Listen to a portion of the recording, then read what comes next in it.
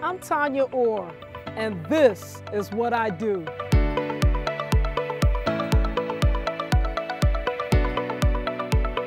Before moving to Raleigh, Tanya worked for more than 25 years as an electrician in New York City. Having worked on projects inside the historic public libraries, as well as landmarks like Strawberry Fields and the iconic Bethesda Terrace, Tanya was eager to put her talent and experience to work here in Raleigh. I came to work for the city of Raleigh because this is the best city in the beautiful state of North Carolina. As a level three commercial electrical inspector, on any given day, I can inspect office buildings, schools, hospitals, apartment complexes, and shopping centers.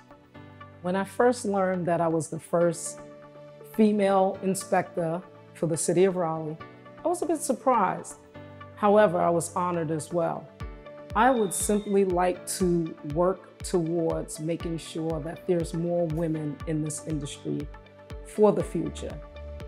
What I like most about my job is helping general contractors understand the importance of installing electrical systems in a safe manner.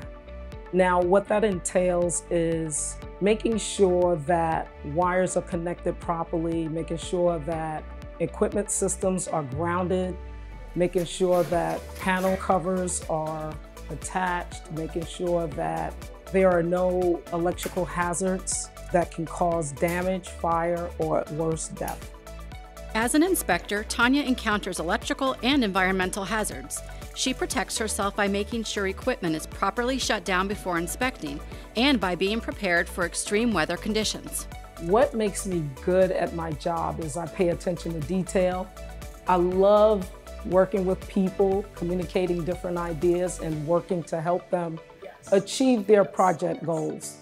I also love working outdoors. No two days for me are the same. It changes every single day. I love that.